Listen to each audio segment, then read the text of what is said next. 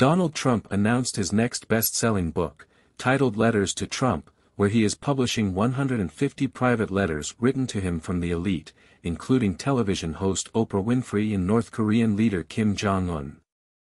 Axios, in an exclusive story revealing the book on Thursday, reports that some of the letters in the book are from Richard Nixon, Ronald Reagan, Bill Clinton, Princess Diana, Hillary Clinton, Ted Kennedy, North Korea's Kim Jong-un, Mario Cuomo, Arnold Palmer, Jay Leno, Liza Minnelli, Regis Philbin.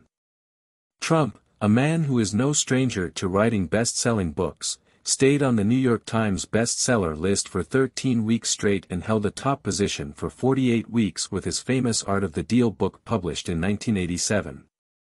Winning Team Publishing, which published Trump's best-selling book which made over $20 million in the first two months, released one letter from Oprah written to Trump in response to Trump sending her an excerpt of his book written in 2000 titled The America We Deserve.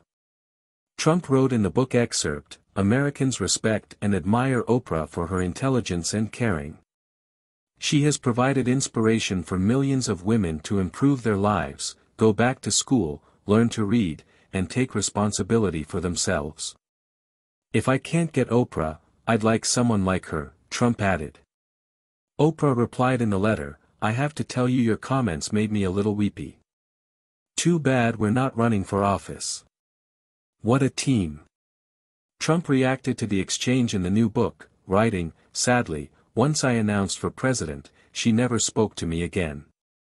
President and co-founder of Winning Team Publishing, Sergio Gor, told Axios, long before entering politics, Donald Trump lived an extraordinary life. No book highlights his iconic relationships like letters to Trump.